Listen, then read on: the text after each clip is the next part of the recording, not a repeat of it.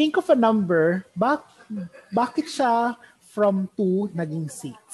Yung 6 naging 18. From that from that first three numbers, alam niyo na. Alam niyo na yung nangyari doon. Okay? Yes, very good. Oh, ito, madali lang yan. 2. O, nakita natin yan.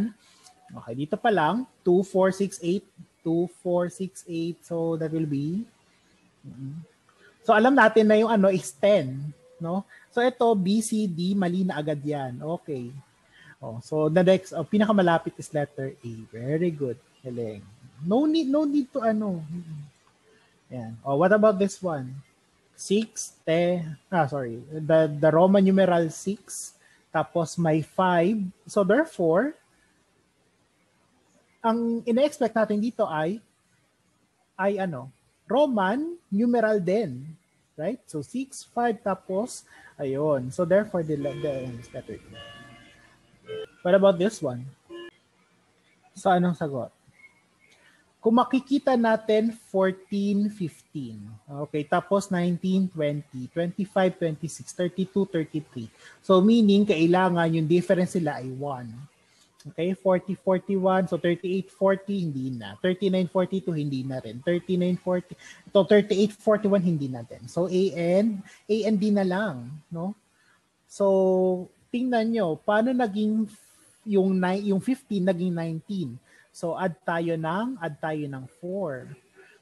Tapos yung 20 naging 25, you add 5. Tapos yung 26 naging 32, you add 6. So therefore, para mag ano, you add, you add 7. So you add 7. So that will be 40, 42. Okay. Process of elimination is very important. Okay? I think this will be the last. Paano daw kapag decimal? Sige, decimal down. Okay. What about this one? It's not about ratios. It's not about ratios. It's all about it's all about counting. Okay. The next the next number will be what? So mapapansin nyo 0, 0, 1. Okay. Then dalawang zeros bago mag 1. Okay. Tapos naging tatlong zeros. Okay. Tapos dito, apat na zeros. So, which means the next number will be what? The next number, so kung dalawa yan, so yung pangalawang number should be what? How, how many zeros? How many zeros sa decimal part? That will be 5. So, ilan na yung may, may 5? 1, 2, 3, 4, 5. Ah, okay. 1, 1, 2, 3, 4. That's letter C. So, more likely, the answer is letter C will it suffice uh, will it be ano um tunay ba tunay ba yung mga ganoon yes kasi kung mapapansin natin kung ilan yung zeros nung nauna hindi number of 1 dun sa susunod. 1 tapos tapos dalawang zeros lang sa umpisa. So that will be um ayun. 0 0 so tatlong tatlong 1 here. Okay. So the next one will be apat na. Apat na 1 tapos um, sa unahan nun, dalawang 0. So 0, 0, 0, 1, 1, 1, 1. So that's letter C. O ito, madali na to. 2, 6, 18, 54.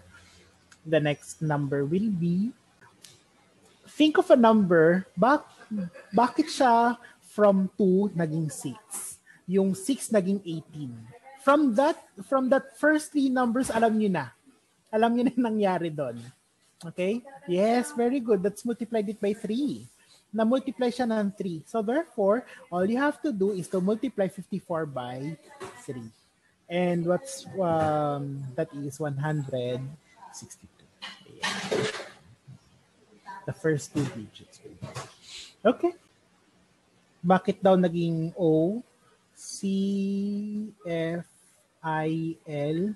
Okay, if you will convert that to numbers, no? So 3 is, I think, uh, C is the third letter, F is the sixth letter, I is the ninth letter, L is the twelfth letter.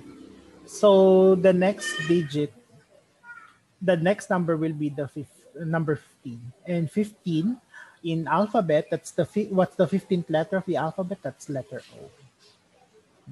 Okay. Always remember, no? Oo. Sige, bigyan ko kayo ng quotable quotes. Ayan. Always remember math, no? Making all things making all things happen. Uy, huwag niyo katakutan ng math. Math is everywhere. Math is life. Mm-mm. Lahat ng lahat ng ano natin nagagawa na, na nagagawa ng math. Okay? Nagagawa ng paraan ng math. Pati mga ex natin, no? Oo, yung, yung mga yung mga hindi na single na naging taken ng mga nakaraang panahon, no. O, tapos wala na sila, tawag doon ay ex. uh, mat pa rin. Hindi, joke lang. Okay.